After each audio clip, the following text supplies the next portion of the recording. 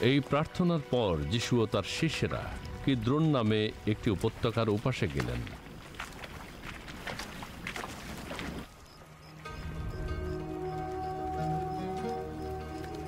সেখানে একটি বাগান ছিল।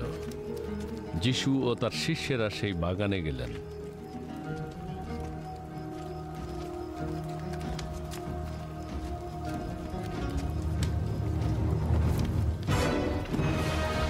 জিহুদা, সেই বিশ্বাসঘাতক, সেই জায়গাটা চিনত।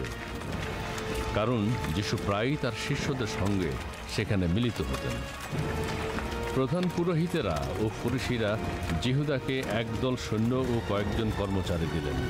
তখন জিহুদা তাদের সঙ্গে বাতি ও মশালের অস্ত্রশস্ত্র নিয়ে সেখানে উপস্থিত হলেন।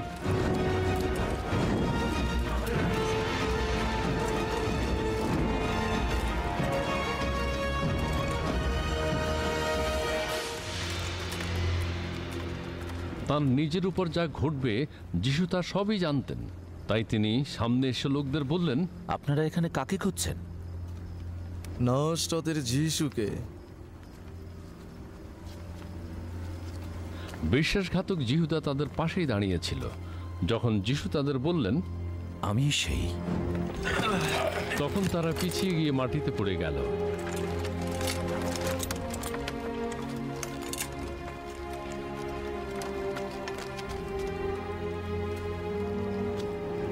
যিশু আবার তাদের জিজ্ঞাসা করলেন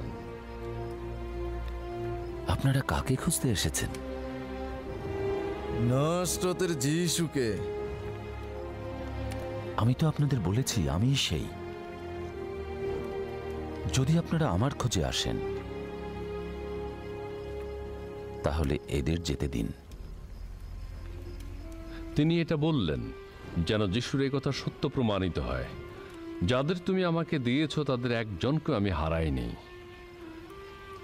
সিমন পিতরের কাছে একটা ছোরা ছিল। পিতর সেই ছোরাটা দিয়ে মহাপুরোহিতের দাসের ডান কান্তা কেটে ফেললেন। সেই দাসের নাম ছিল মলকো। তোমার ছোড়া খাপে ভরে রাখো। পিতা আমাকে যে দুঃখের পেয়ালা দিয়েছেন তা কি আমি গ্রহণ করব না? তখন সেই সৈন্যরা আর তাদের সেনাপতি ও জিহুদি নেতাদের কর্মচারীরা যিশুকে ধরে বাঁধল।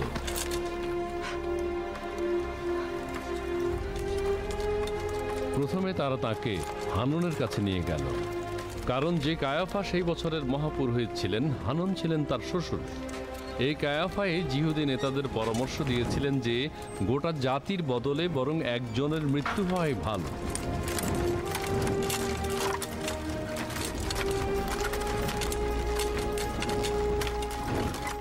সেমন পিতর ও আরও কয়েকজন শিষ্য যিশুর পিছন পিছন গেলেন। অন্য সেই শিষ্যকে মহাপুরোহিত চিনতেন। সেই শিষ্য যিশুর সঙ্গে সঙ্গে মহাপুরোহিতের উঠানে ঢুকলেন। কিন্তু পিতর বাইরে দরজার কাছে দাঁড়িয়ে রইলেন।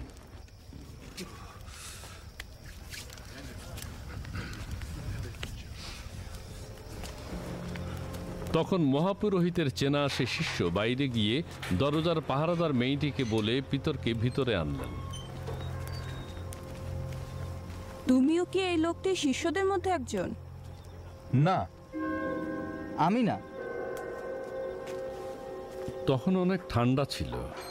এই জন্য দাসেরা এবং কর্মচারীরা কাঠ কয়লার আগুন পোহাচ্ছিল। পিতরও তাদের সঙ্গে দাঁড়িয়ে আগুন পোহাচ্ছিল। মহাপুরোহিত তখন যিশুকে তার শিষ্যদের আর তার শিক্ষার বিষয়ে জিজ্ঞাসা করলে যিশু উত্তরে বললেন আমি লোকদের কাছে খোলাখুলিভাবেই কথা বলেছি। যেখানে সবাই একসাথে মিলিত হয়েছিল সেই সমাজ ঘরে ও উপাসনা ঘরে আমি সব সময় শিক্ষা দিয়েছি। আমি তো গোপনে কিছু বলিনি। তবে কেন আমাকে জিজ্ঞাসা করছেন? আমার কথা যারা শুনেছে তাদেরকে করুন। তাদের জিজ্ঞাসা করুন। আমি কি বলেছি তা তারা জানে। তুমি মহাপুরোহিতকে এইভাবে উত্তর দিচ্ছ?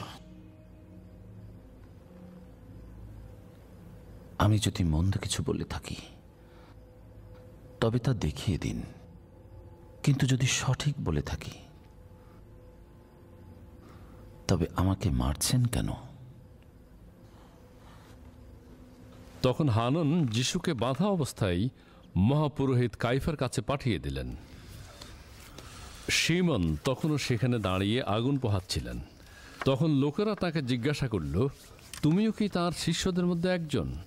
না মোটেও না। কিন্তু পিতর অস্বীকার করল। পিতর যার কান কেটেছিল তার এক আত্মীয় মহাপুরোহিতের দাস বলল আমি কি তোমাকে বাগানে তার সঙ্গে দেখিনি? না।